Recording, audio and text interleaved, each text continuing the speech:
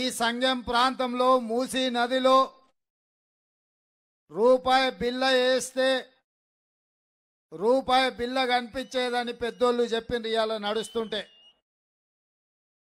అలాంటి మూసీ నది మురికితో నిండిపోయి కాలుష్యం కాదు అది విషంగా మారి మా కుల వృత్తులు చేతి వృత్తులు చేసుకుంటున్న. మా గీతన్నలు నేతన్నలు మా యాదవ సోదరులు మా కురుమ మిత్రులు అదేవిధంగా మా ముదిరాజు బిడ్డలు ఈరోజు ఈ ప్రాంతంలో కుల వృత్తులు చేతి వృత్తులు చేసుకునే మిత్రులే కాకుండా రైతులు రైతు కూలీలు రైతు కూలీల సంఘాల నాయకులు ఇవాళ వేలాదిగా తరలి వచ్చి మూసి నది ఒడ్డున నిలబడి దేవుడు మాకు శాపం పెట్టిండా? లేకపోతే పాలకులు మా మీద పగబట్టిండ్రా మా నలగొండను ఒక పక్కన ఫ్లోరైడ్ పట్టి పీడిస్తుంటే మా పుట్టే బిడ్డలు నడుము వంకర కాలు వంకర కళ్ళు కనిపించకుండా మా బిడ్డలు పుడుతుంటే దేవుడికి కూడా కనికరం లేదు మా మీద అని.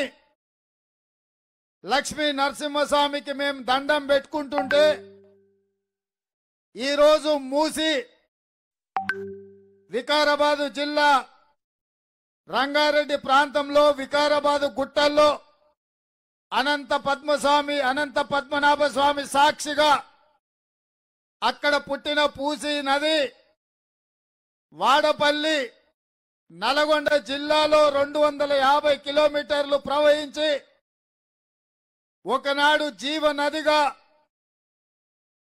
తెలంగాణ రైతాంగానికి రంగారెడ్డి జిల్లా హైదరాబాద్ నల్గొండ జిల్లా రైతున్నలకు జీవ నదిగా ఉండి పాడి పంటలకు ఈ ప్రాంతం నిలువుగా ఉండే.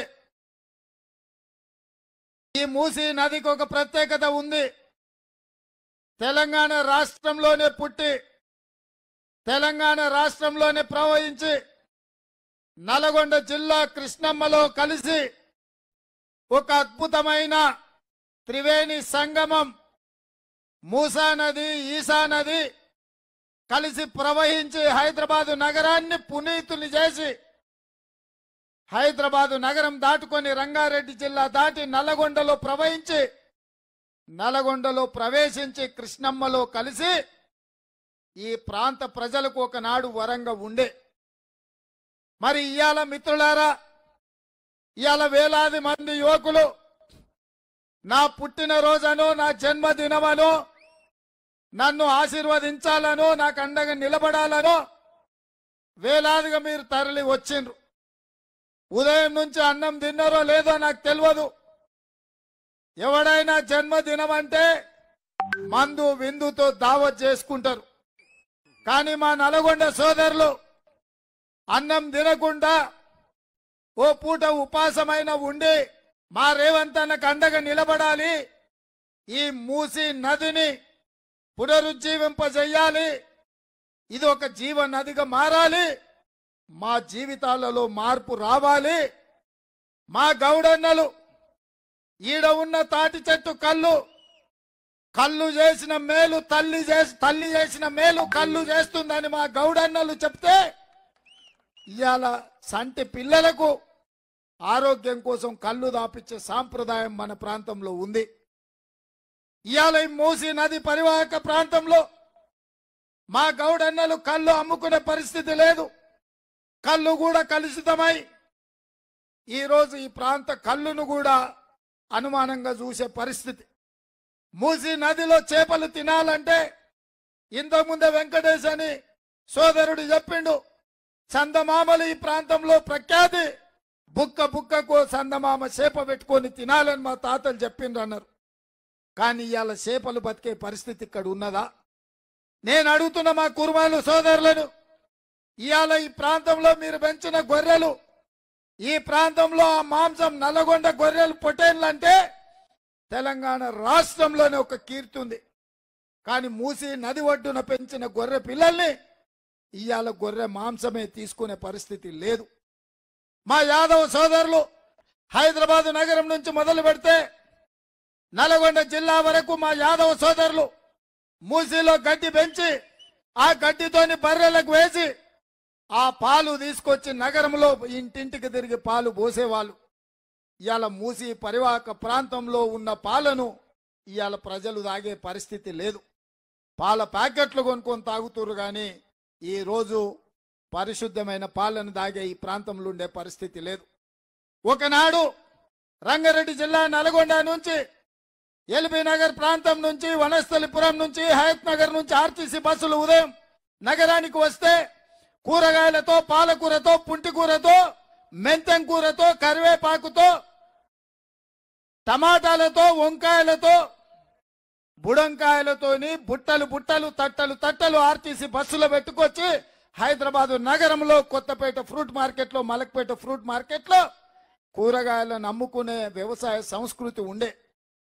కానీ మూసి కలుషితమై మూసి నీళ్ళతో పండించిన కూరగాయలు కొనే దిక్కు లేక పెట్టుబడి నష్టపోయి ఈ రోజు కూరగాయలు పండించే రైతులు వ్యవసాయమే మానేసుకొని ఇవాళ వాళ్ళ భూములను తెగనమ్ముకునే పరిస్థితి వచ్చింది.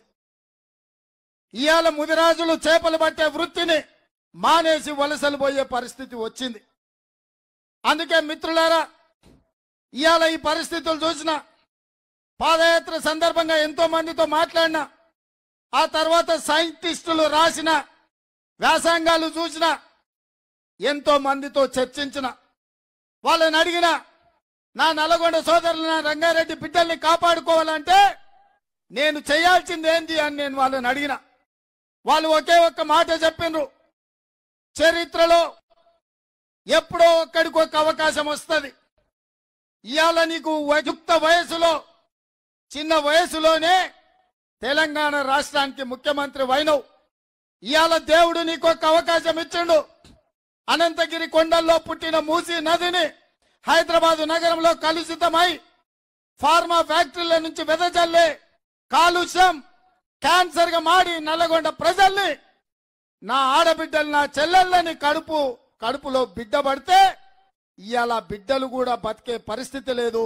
ఇవాళ ఆడబిడ్డలకు కడుపు అయ్యే పరిస్థితి నీళ్ళతోని కలుషితంతో లేదు. ఈ నీళ్ళతోని కడుక్కుంటే చర్మం బొగ్గలు వస్తున్నాయి ఈ నీళ్ళల్లో కాళ్ళు పెడితే కాళ్ళు వాసిపోతున్నాయి.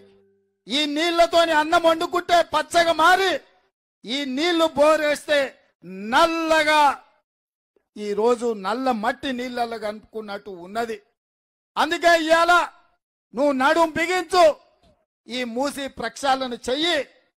ఈ మూసి ప్రక్షాళన అనేది చాలా మంది దుర్మార్గులు ఉంటారు. అందులో బీఆర్ఎస్ వాళ్ళు ముందుంటారు. వాళ్ళకు దోసుకోవడమే తెలుసు తప్ప తెలంగాణ ప్రజలకు మేలు చేసేది తెలియదు వాళ్ళు అడ్డుకుంటారు. నీకు ధైర్యం ఉంటే ఈ కార్యక్రమాన్ని చేపట్టమని చెప్పిండ్రు నేను ఇవాళ ఇక్కడికి వచ్చిన వేలాది మంది నల్గొండ సోదరులు నేను అడుగుతున్నా. మీరు వెనక్కి గ్రామాలకు పోండి. మీ గ్రామంలో కూర్చోండి. బీఆర్ఎస్ బీజేపీలను మీ ఊర్లలో ఉండేటోళ్ళని పిలువండి. ఇవాళ జెండా ఎజెండా పక్కన పెట్టండి. ఈ నల్లగొండ బాగుపడాలన్నా వద్దా? ఈ ఫ్లోరైడ్ బాధితులను ఆదుకోవాలన్నా వద్దా? ఈ మూసి మురికి నుంచి ఈ మూసి కాలుష్యం నుంచి నల్గొండ బయటపడాలనా లేదా మీరు